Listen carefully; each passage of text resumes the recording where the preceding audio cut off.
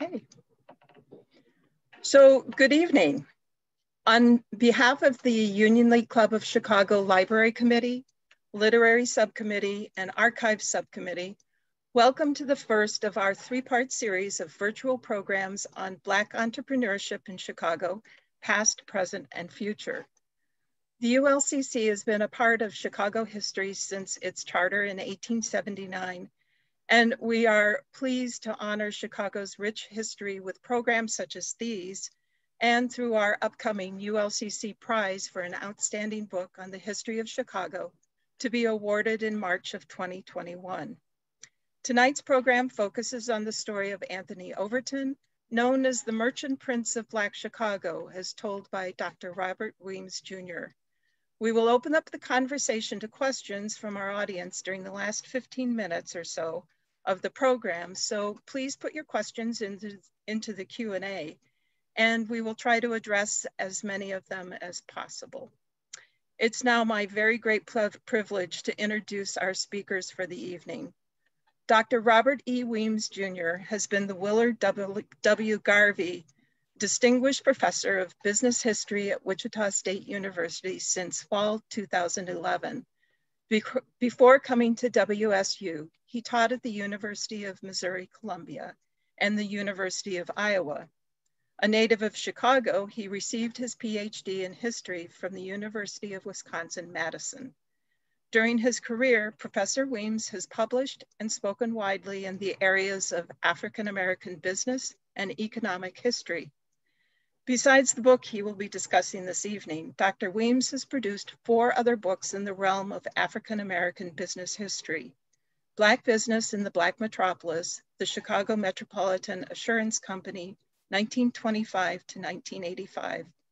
Desegregating the Dollar, African American Consumerism in the 20th Century. Business in Black and White, American Presidents and Black Entrepreneurs in the 20th Century. And Building the Black Metropolis, African American Entrepreneurship in Chicago. In addition, Professor Weems served as a historical advisor and appeared in the documentary Boss, The Black Experience in Business, which premiered on PBS in April 2019 and was shown here at the club last week. Dr. Weems' community-based activities include serving on the board of directors of the Heartland Wichita Black Chamber of Commerce. In this capacity, he has established and coordinates the organization's Wichita Black Business Hall of Fame initiative. I am also so very honored to welcome Christopher Robert Reed, who is Emeritus Professor of History, Roosevelt University. He is a native Chicagoan who has deeply felt connection to the heart and soul of Chicago, its people and their history. Professor Reed is the author of six books on organizational life in Black Chicago, including The Rise of Chicago's Black Metropolis, 1920 to 1929, and Black Chicago's First Century, 1833 to 1900. So I thank you so much to both of you for being here.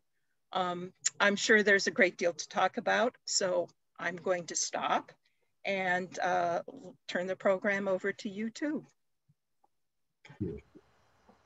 Uh, it's a great honor for me to interview the author, and especially at the Union League Club of Chicago. Uh, we share many things in common. That is the love of Chicago history. Of course, you've mentioned we're both Chicago natives. And it seems auspicious that the Union League Club has invited uh, Professor Weems to speak recognizing his scholarly work and the subject of his work because it was just 100 years ago that the Union League Club of Chicago recognized the business acumen and activities and accomplishments of African Americans in the city on the on Chicago's South Side. Professor Weems, excuse me, Professor Weems has written an exemplary book on a titan in Black Chicago history and a man who was recognized citywide for his accomplishments.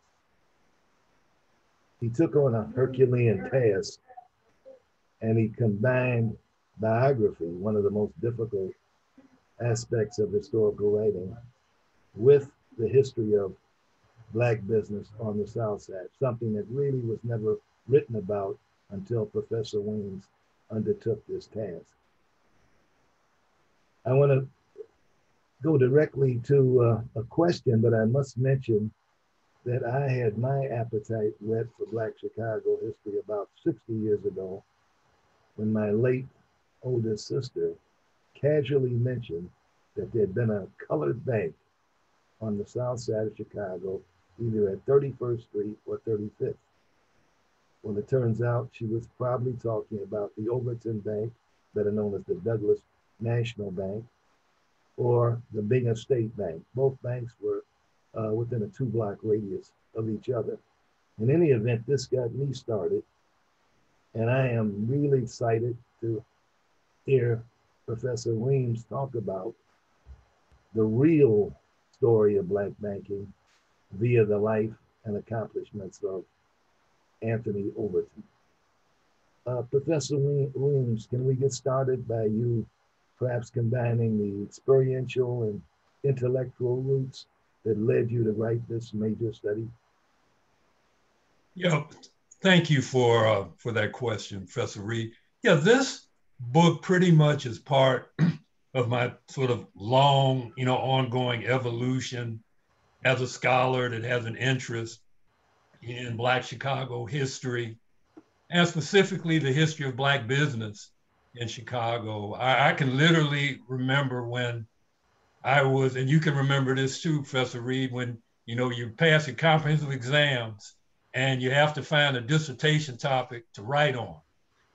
And I knew that I wanted to do something on the history of Black Chicagoans, but I was kind of torn as to whether or not I wanted to do something related to the political development of Black Chicago or the business or economic development of Black Chicago.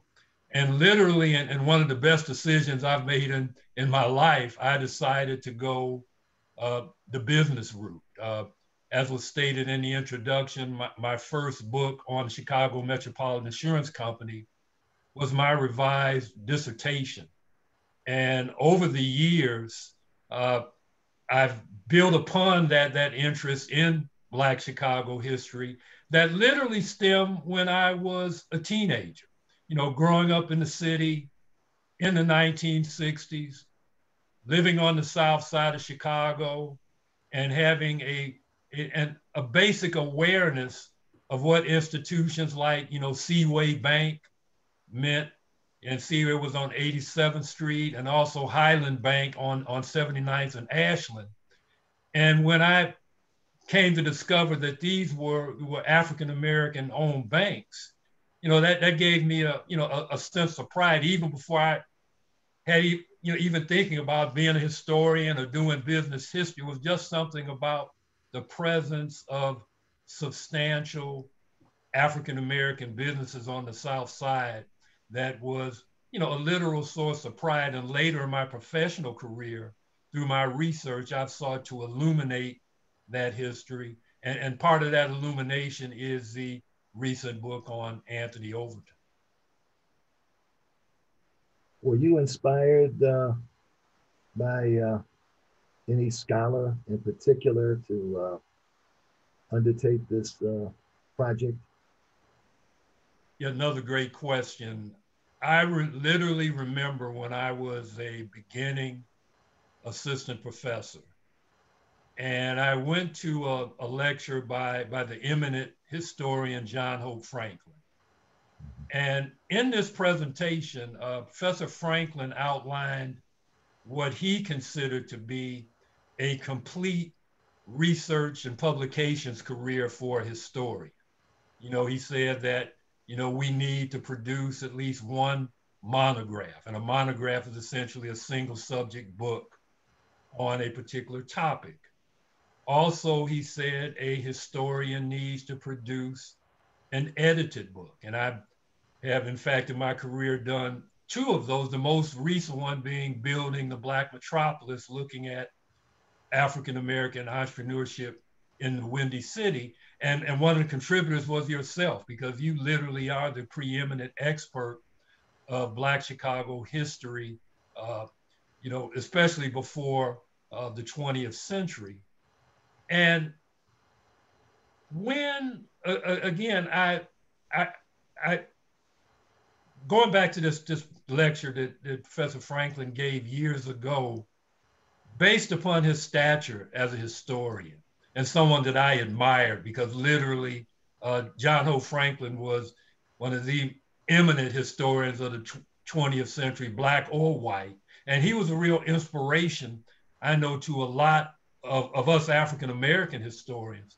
And when he made the point about writing a biography, that was something that literally stuck in my head over the years. And, and, and I knew at some point in time that I had to do a biography. And ultimately, uh, based upon you know my exposure to Black Chicago business history, uh, the name Anthony Overton kept coming up and coming up, and I decided, well, you know, Anthony Overton was in fact going to be the subject of this biography.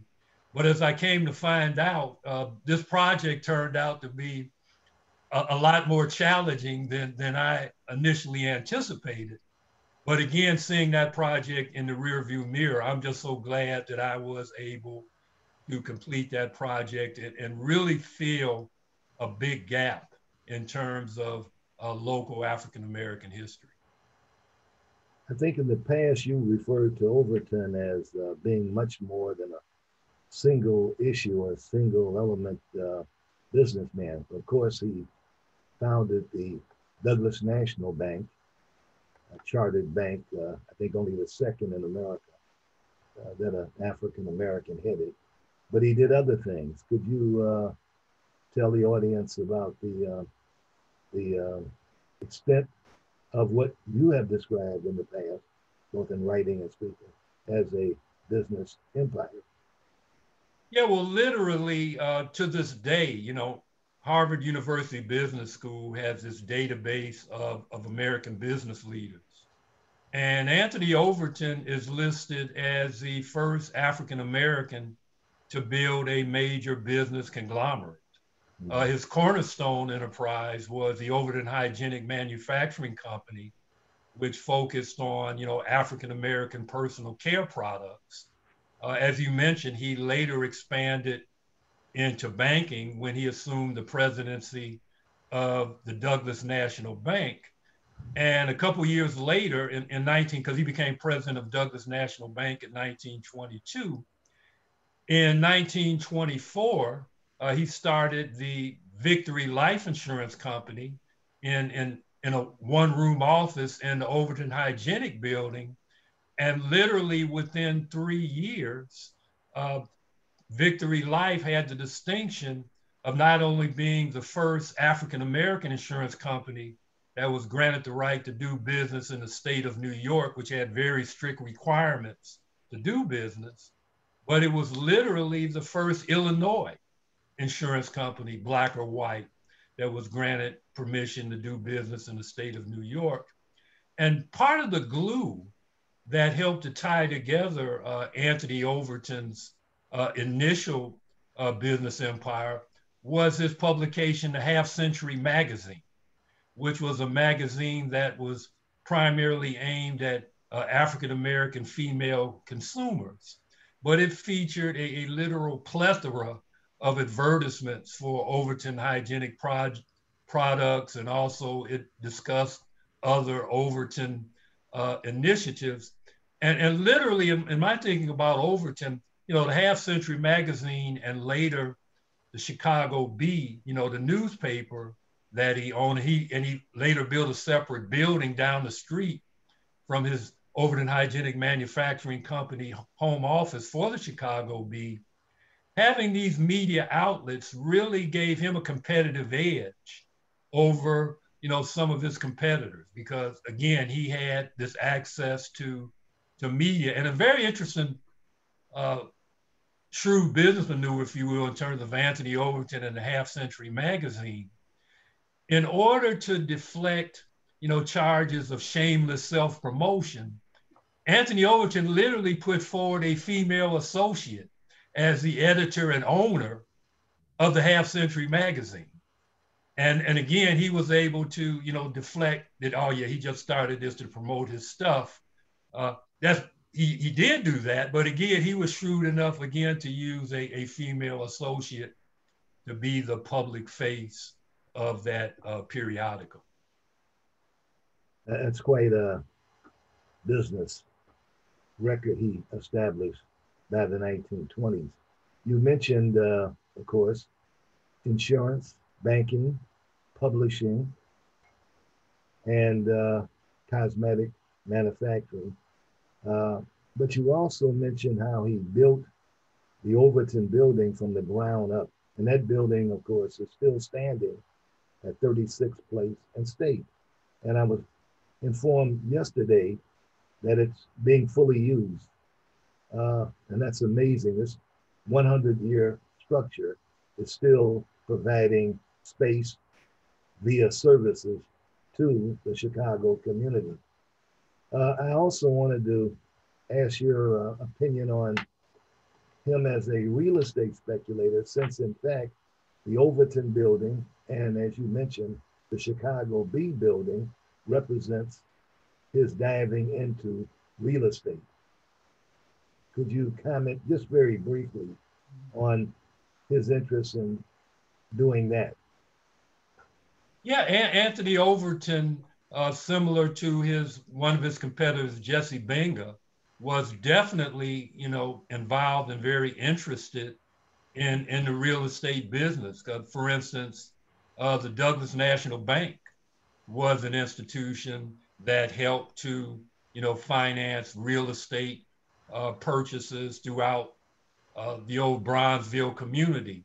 Uh, in fact, Anthony Overton had a subsidiary uh, enterprise called the Great Northern Realty Company. So Anthony Overton, you know, he had his fingers in, in literally everything that was going on uh, in Black Chicago uh, in the early 20th century. And that informs the audience that uh, here was a man that the, the Union League Club might want to visit when they made this tour of the South Side 100 years ago. They didn't come to the South Side to see slums or dispossessed people. They came to see what one group of Chicagoans was doing to contribute to the success of Chicago's economic growth and development. Now, as he uh, pursued his various interests, he developed competitors. You already mentioned Jesse Binga, the city's first banker who had opened the Binga Bank in 1908. Uh, might you uh, make a comment about how he got along with Overton and, and another competitor when he when Overton started the um, uh, Chicago Bee newspaper, which had come out of the half century magazine. He became a competitor to Robert Abbott, the owner of the Chicago Defender. How did these men uh, uh, link up? How did they react to each other? How were they as competitors? And I'm hopefully you'll share something about how they were as business collaborators helping the um, South Side develop. Yeah, that, that's a great question, Professor Reed. When we look at people like Anthony Overton, people like Jesse Binga, people like Robert Abbott, while they were self interested businessmen that were concerned about growing their own businesses, the evidence seems clear that they were first and foremost race men. You know, as you know from your own research, you know, race, you know, being a race man or a race woman was the highest compliment that one could get in early 20th century Black America. And when we look at, at the associated business clubs, to me, that's a real extraordinary example of business cooperation among competitors, because literally the Binga State Bank was a direct competitor to, you know, Overton's Douglas National Bank as you alluded to earlier, the Half Century Magazine and later the Chicago Bee was a competitor of Robert Abbott's Chicago Defender. But these individuals were able to literally transcend their own, you know, sort of selfish business interests to try to establish a what became a literal de facto black chamber of commerce through the associated business clubs, which really stressed business cooperation. And to all these men's distinct credit, you know, they not just talk the talk about the race needs to cooperate in terms of business enterprise. Through the associated business clubs, we literally see these individuals, you know, walking the walk in that regard. That was very impressive. I um, uh, remember doing research and seeing that the Associated Business Clubs acted as a host for Booker T. Washington's National Negro Business League, I think around 1923 or 1924. Of course, Chicagoans being Chicagoans, whether they're white, black, or whatever, consider Chicago as the center of the universe.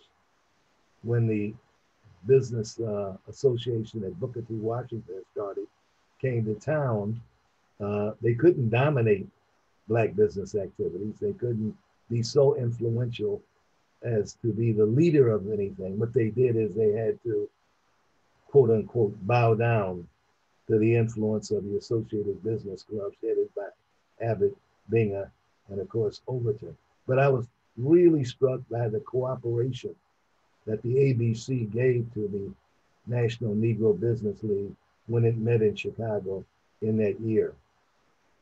In addition to uh, I just want to piggyback off, off that point, Professor Reed, that and especially for, for the audience, when we talk about Anthony Overton, uh, Jesse Binga, and Robert Abbott, we're literally talking about the top three Black business people in Chicago during the 1920s.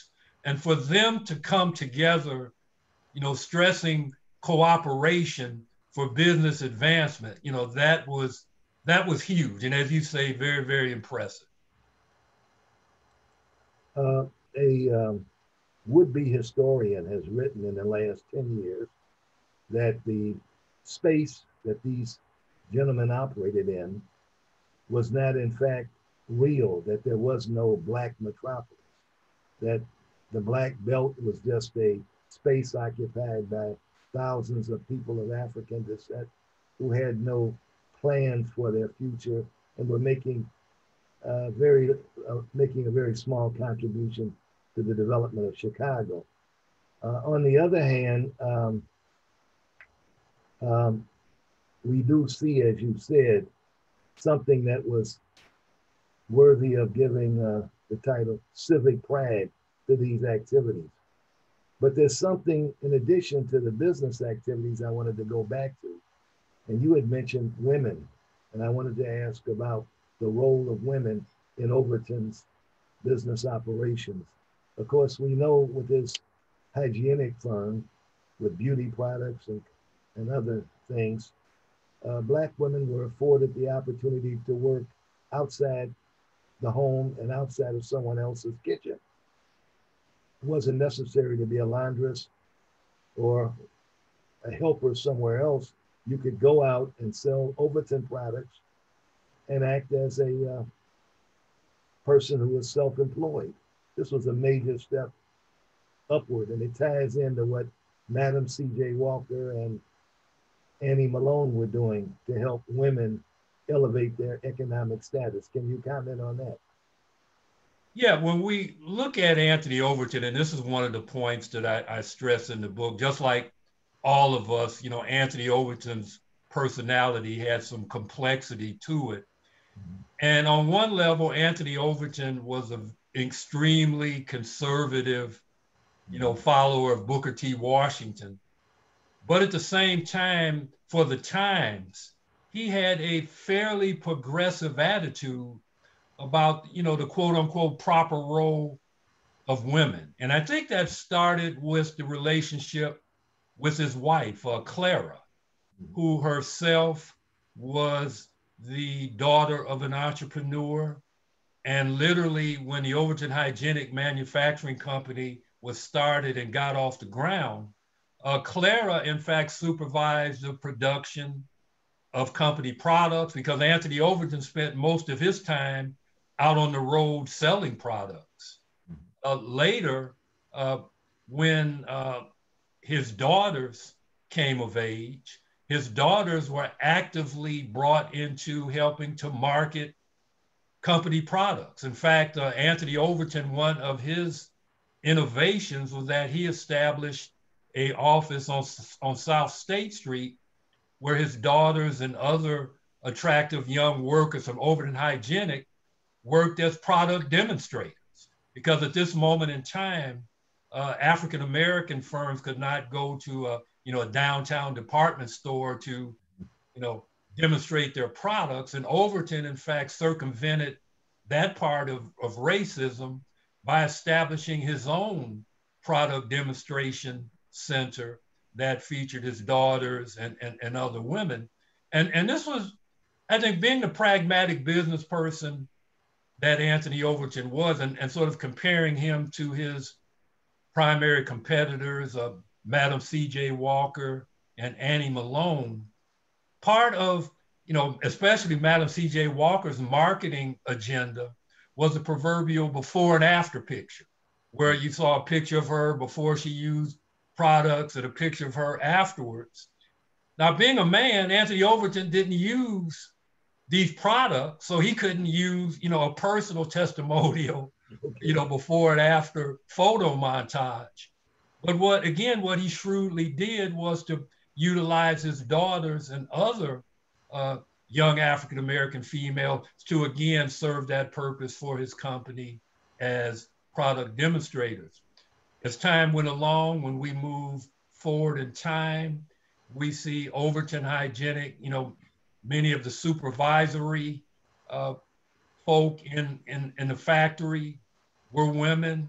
Uh, later, the Chicago Bee, from for about the last 10 years of its existence, had an all-female staff, including the editor. So again, there, you know, this is part of the interesting complexity of Anthony Overton that again, this very conservative man had a, a, a, real progressive attitude about the role of women during this period. But I think it was based upon, you know, pragmatism. Because I, in fact, when I talk about Overton in the book and, and talk about Overton in, in other venues, he was literally a man in a woman's world in the context of personal care products. And he had to find ways to to use women surrogates to uh, better market his products. Uh, this is a positive for Overton, and it's not a quirk. It's being fair towards women. Uh, some might say it's a quirk because the 1920s was a period when males, white and black, especially white, uh, promoted uh, the cult of masculinity. If being fair towards women was a quirk, he probably had other quirks, quote unquote. And I wonder if you talk about him in regard to your establishing his origins and the story of his life. Was it filled with other quirks, ibs and eddies that didn't flow straight? How obscure did he make his past, giving you real problems? Well, um, as, as, you know, Professor Reed, you know, when you're working on a book, mm-hmm. you know, one of the first things you do is a review of the existing literature. Mm-hmm. And with Anthony Overton, you know, you have a variety of works out here that, you know, situated him, you know, being a, you know, a municipal judge in Topeka, Kansas in the 1880s, you know, being a politician in Oklahoma Territory in the, in the 1890s and, and all types of, of, of stuff. And part of my literature review was consulting two books that literally shook me up in terms of, you know, progressing with this project. Uh, the first of these books was a book by uh, Thomas Cox, which is, a, you know, a social history of African Americans in Topeka, Kansas from 1865 to 1915. And in looking at, at, at Cox's book, and again, I had seen all these other things about Overton, you know, being a business prodigy as a teenager and, and being municipal judge. I was struck by the fact of looking at the index that Anthony Overton was not mentioned. Similarly, when I looked at Jimmie Franklin's book on the history of Blacks in Oklahoma, I did not see Anthony Overton's name in, in, in the index. So I'm like, huh, what, what's going on here? So literally that, among other things, helped me to really zero in on my subsequent research trips where I went to such places as Monroe, Louisiana, where he was born, uh, Topeka, Kansas. Uh, I went to Kingfisher County, Oklahoma, to really separate, you know, fact from fiction in terms of his life. But to get to his motive, quite frankly, Professor Reed, you know, your work on Black Chicago in the early 20th century really gave me some insights in terms of as to why Overton might have felt a need to fabricate some of his past. And specifically, you, you talk about people such as uh, Ferdinand Barnett, the lawyer, and other of Black elites that, you know, really had a, you know, an aristocratic viewpoint in terms of who should and who shouldn't be considered as leaders. In fact, part of this aristocratic uh, mindset was that they looked down on Booker T. Washington because they believed that he didn't have the mm-hmm. requisite, you know, academic background to call himself a leader. So I think as when Overton arrived in Chicago and found himself in this setting and, and, and with these individuals, to me, and this is just informed speculation, that I think that might have prompted him to, you know, develop some of these myths about his past. And on a more tragic note, one of the things that helped Overton to sort of pull this off was that, you know, the other person in the world who knew otherwise, his wife Clara, you know, pretty much died a year after because they they moved to Chicago in 1911. Clara died in 1912. So literally, the person that that knew otherwise was no longer on the scene, and that I think, you know, predisposed Overton to, if you will, make up some tall tales about his pre-Chicago days. But to be clear, while there's some ambiguity about Anthony Overton's pre-Chicago days, once he arrived on the scene in Chicago from 1911 onward, you know, his accomplishments are, are very well documented talking about his accomplishments, uh, you had mentioned that he had taken the idea of selling uh, insurance in New York to a level where, in fact, the New York State uh, Insurance Commission said, yes, you can sell in New York. Uh, what were some of his other accomplishments? Uh, what recognition did he receive from the American business community? Well, we'll, we'll start with, you know, a major um, recognition he received from the African American community directly related to his moving into a Victory Life movement into New York was that in 1927, uh, Anthony Overton was in fact the first businessman to win the NAACP's prestigious uh, Spingarn Medal. Uh, the following year, he won an important award from the uh, church organization that sponsored the Harmon Awards in business. Another fascinating thing about Anthony Overton, and this was part of the challenge in, in, in working on this project, and this was one of the sort of stunning uh, revelations I got. And, and, and for the sake of full disclosure to the audience, uh, I was a fellow in uh, an organization called the Black Metropolis Research Consortium in 1910.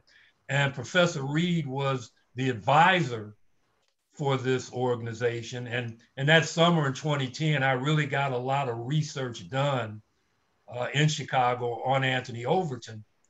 And one of the things that I discovered definitively when I was in Chicago in 1910 was that Anthony Overton's business records had been destroyed by his grandson, Anthony Overton III, when Overton Hygienic closed its doors in, in, in 1983. And when I definitively, you know, found out that these business records were destroyed, it took me a few days. That that, that sort of hit me in the gut because as a historian, as you well know, Professor Reed, when you have important documents like that that are literally tossed in the garbage can and, and lost forever, you know, that that's a real blow. I, I came to find out, uh, you may remember our our colleague Tamar, who was yeah. the archivist. Right. He, he shared with me that it's common for businesses when they, you know, close their doors to, you know, just discard their business records because, you know, that's sort of closing one chapter and maybe starting another chapter somewhere soon. But all this is to, to lead into the fact that without access to Overton's business records, I had to go an alternative route. And I had to consult the files of, of Dun and Bradstreet. Uh, Dun and Bad, Bradstreet, in fact, is a preeminent business credit, uh, credit re reporting bureau. And I was literally able to find Overton Hygienic uh, records literally from the 19 teens up to the 1980s, which literally helped me to fill in some of the gaps in terms of, you know, Overton Hygienic's profitability, which I would not have been able to find because the business records had been destroyed. And as when I got into this project, I, dis- I discovered why nobody had actually tackled this biography because literally a core set of primary documents had unfortunately been destroyed. Hmm, quite interesting. Um, I know we've uh, almost reached the 40 minute mark. I have to ask uh, what was the uh, influence of the great events of this period on Overton's business activities, in particular the Great Migration, 1915 through 1918, that brought 50,000 migrants to Chicago, hardworking migrants who were going to earn money that they were willing to invest. And then what about the Great Depression of the 1930s, which uh, did just the opposite, sucked the life, the money, uh, blood out of the black community, the influence of great events on uh, business activity. Yeah, well, Anthony Overton, like other uh, pre-existing Chicago businesses, were able to benefit significantly from the Great Migration. When you had, you know, this significant influx of African American migrants in the city, you had people like Anthony Overton, people like Jesse Binga, people like Robert Abbott, who were able to, to benefit from this phenomenon. And that literally carried over into the 1920s, where in Black Chicago, like in other areas of the country, it was a literal boom period for African American enterprise. However, when we get to the 1930s, uh, Anthony Overton, in fact, became a, a, a major casualty of uh, the Great Depression. Among other things, we talked about real estate earlier. Uh, the Douglas National Bank and, and Victory Life had invested a lot of money in Black Chicago real estate during the 20s. However, when real estate uh, values fell in the early Depression, we saw a, a lot of these properties literally become white elephants because in fact overton hygienic building itself became a proverbial white white elephant in that regard. And literally during the 1930s we saw you know the douglas national bank close. We saw anthony overton being forced out as president of victory life. And, and during that decade we saw overton hygienic lose about 90% of its uh, of its wealth but in the end, you know, Anthony Overton, uh, you know, the 30s were very tough for him. But in the early 1940s, you know, he was able to regain his reputation. And literally, when he died in 1946, you know, he was regarded as one of the more respected members of the Black uh, Chicago community. If I might add, um, I wanted to mention in regard to finding data from which you could tell the story you did. I was helped, and I assume you were too, by the annual reports in the Tribune of neighborhood banks. And of course, in the uh, reports, you see that the, the Douglas National Bank stood up quite well in comparison to other groups and their neighborhood banks. Of course, you don't compare the Douglas National to the First National Bank of Chicago. You look at community and neighborhood operations. It looked quite well there. And, and this gave me great satisfaction.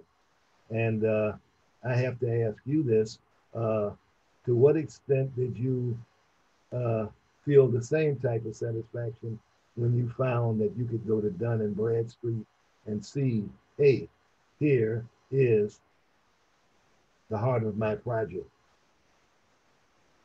Well, it gave me satisfaction, and and I had the biggest sigh of relief in the world because literally, yeah, I saw, well, yeah, this would actually enable me to do this project and and have enough data that could, you know, when when colleagues look at at the book and say, well, okay, where's the data, you know, and and I can explain, you know, what happened with the data, but here is a, a good substitute, and and people that have looked at the manuscript, including yourself, have, have seemed to conclude that I was able to uh, succeed in that regard. But, but, but yeah, that was really one of the more challenging parts of the project. But again, in, in life, we know that the things that challenge you the most, if you're able to overcome them, they give you the, the greatest satisfaction. That's true. I might ask our uh, hostess at the Union League Club, how are we doing for time? I think we're doing really well. Um, I do have a couple of questions from from our participants. Um, you want me to go ahead and launch into those, or did you want to do a wrap up? Uh, maybe we should wrap up, and I'd like to just give a one minute wrap up before Professor Weems does, and that has to do with he made reference to Overton perhaps feeling somewhat uh, put off by the quality of the leadership in Black Chicago during this period. I just wanted to say that Chicago, as a magnet, attracted a great many talented Black men and women from the East Coast and from the South. And many would come to Chicago to attend the University of Chicago or the Art Institute or the Armour Institute or Northwestern. So you did have building up a cadre of very talented people who filtered in and became part of the leadership clusters in Black Chicago. Let me throw in Harvard also. I found three Harvard men here early in the century. Uh, Professor Weems? Yeah, and, and, and, looking at Anthony Overton, uh, one of the more fascinating things about this individual was that clearly you know, he was a, a business titan.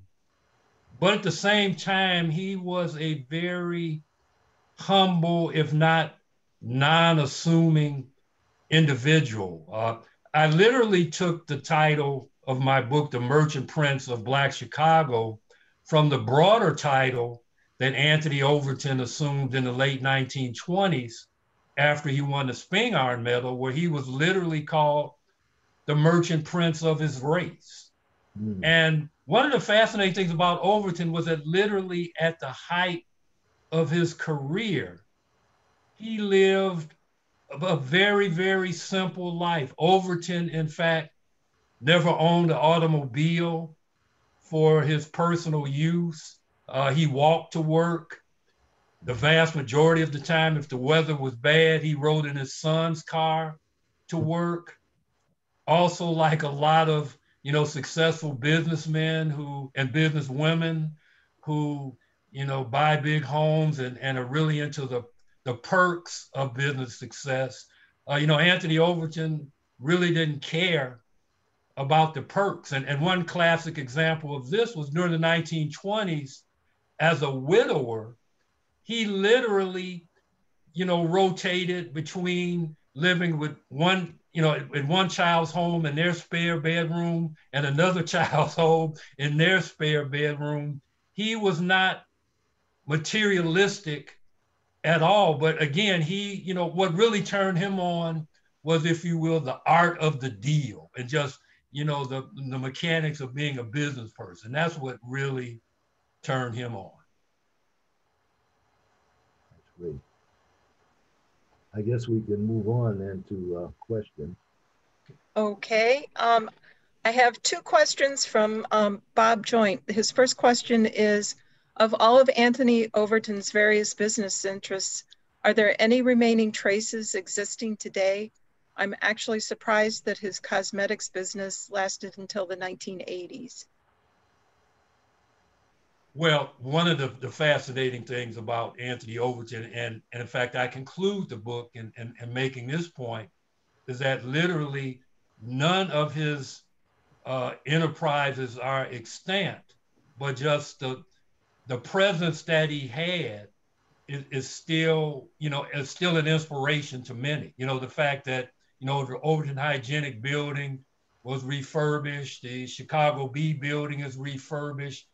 That in and of itself, I think, is just a testimony, you know, to the legacy of Anthony Overton. And, and, and that's really unique and I think really special because a lot of times, you know, out of sight, out of mind, but I think with Anthony Overton, we see somebody that clearly his name still resonates in, in, in many circles. Bob also wanted to know, um, do you recall the name of the founder of the Washington National Insurance Company? Uh, I, uh, no, I don't.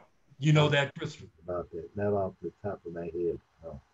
Uh, let me just say that there were many insurance companies during this period in addition to Victory Life, there was the Supreme Life Insurance Company, which had been the first legal reserve north of the Mason-Dixon line. There was the, um, you wrote, Bob, about Metropolitan Assurance, which was, you know, which was insurance, assurance company. And there was uh, a fourth one. What was it? Victory, Metropolitan, Supreme Life. And yeah, there were several. Mammoth. Mammoth, yeah, there, there, yeah, more than a half a dozen active this, this uh, Black Chicago was a an active uh, uh, economic base during the 1920s, very active. Um, Neil McCrillis had a question of, uh, well, I, I've really enjoyed hearing about Dr. Weems' work and a historian's journey toward this project, as well as the wonderful questions and contextualization of Dr. Reed. Can I ask what was Dr. Weems' favorite subject as a child?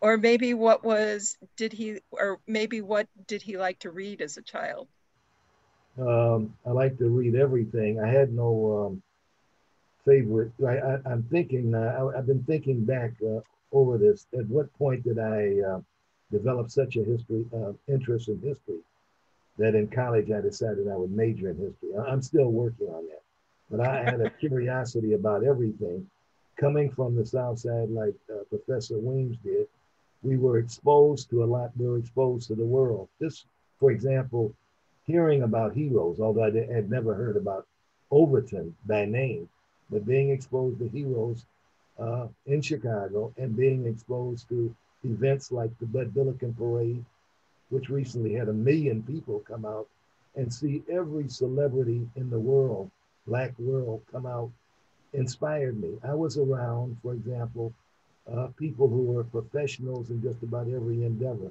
Uh, when I was sick, I was thinking back to the 1940s. Dr. John Lewis, a black man, came to our home. And his father had been a doctor. They came from Iowa. My uh, niece's pediatrician was an African American.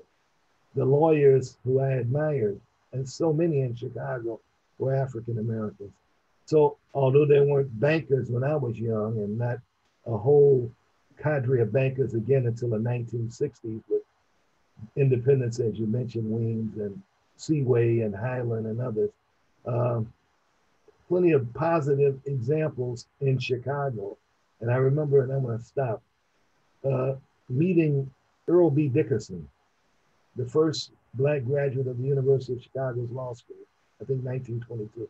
I remember meeting him at the Supreme Life Insurance Company, where he had a uh, executive suite, and I thanked him for his company's lending money to my family so that we could move from the South Side after World War II over to the East Garfield Park area. But I got a chance to develop a, a, a friendship of sort with Mr. Dickerson, who was one of the outstanding uh, lawyers in Chicago.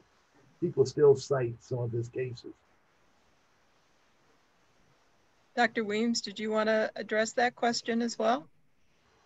Yeah, I guess early on, uh, and, and a lot of this I have to pay homage to my parents, you know, because they literally made a point of having, you know, books and encyclopedias ar- ar- around the house. And, and, and one of the books that was present in the house was Carter G. Woodson's, you know, The Negro in Our History. And that was literally my first exposure, you know, to uh, African American history. And yeah, it, it you know, history has always been something that that I've liked. And it's kind of a little funny story. Uh, I used to literally read, you know, history textbooks for enjoyment because I remember, I, I, guess it was like sixth grade, and uh, our teacher was was mad at the class for something, so she gave some quiz out of the history book that she thought nobody was going to pass, and and I passed, and she looked at me like, but but yeah, I, have always I've always enjoyed history, and and again when I came of age as as a teenager in the in the late 1960s, and was exposed to you know the civil rights and Black Power movement, you know that really sort of re-energized you know my interest in, in, in, in history and, and even thinking about maybe at some point I could make a living based upon my, my interest in history. May, may I just uh, add, uh, Weems and others who are watching who know me, know I always bring out family, those in the family that inspired me. Uh, this is a photo from 1918 in Chicago. And uh, here, where my finger is pointed, is my uh, great grandfather who came up to Chicago to be with his children before he passed on. He had been a veteran of the uh, Civil War. And uh, after my great grandmother died, he was left alone in Kentucky and he came up here where he had uh, at least six children living. And this photograph was taken in 1918. And uh, I've always had an interest in family history, was always inspired by the fact that uh, I had to do something worthwhile with my life. And I hope when I'm gone, someone will look at this recording and say, he at least attempted. we have another question from Will Barnes. Um, was S.B. Fuller influenced by Overton and did they have any type of business relationships?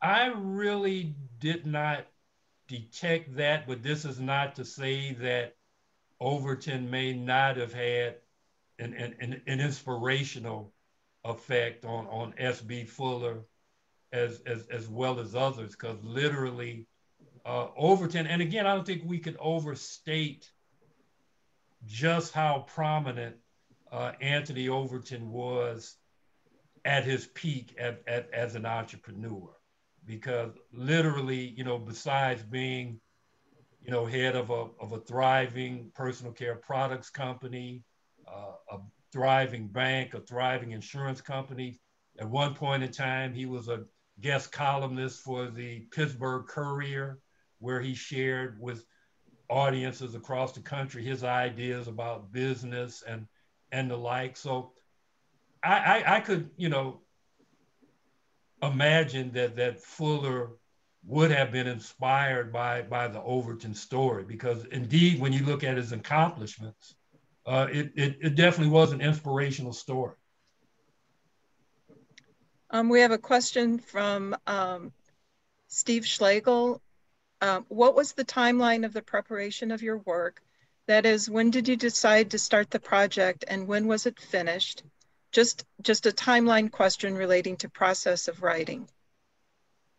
Okay, I actually, and I, I made a reference to doing, you know, preliminary research, and and, I, and I want to give a shout out in that regard to my my fellow panelists, uh, Professor Reed. Uh, when I began to conceptualize this particular project, uh, the first person I thought of and touching base with was was was Christopher Reed, and and and Professor Reed was just very forthcoming in terms of information that he had about Anthony Overton. In fact, uh, Professor Reed gave me a very important lead. He gave me the contact information for Anthony Overton's granddaughter, uh, Sheila Overton Levi, who, in fact, I have an extended section of the book that talks about her recollections of Anthony Overton as a grandfather. And again, to me, that's a very important part of the book because it sorts of humanize, it has a nice human touch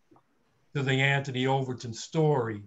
Uh, started preliminary research in 2019. Uh, a project such as this, again, the issue in terms of the sources, uh, early on, you know, I was trying to figure out, you know, what do I want to say regarding Anthony Overton and his career. And one of the things you do as, as a scholar is that, you know, you share your manuscript with, with other colleagues for input, because in fact, Professor Reed was gracious enough to look at a earlier draft of the manuscript and he gave me some good suggestions on how I could proceed. But literally it from 2009 to uh, a publication date of March of 2020. So about 11 years. Oh.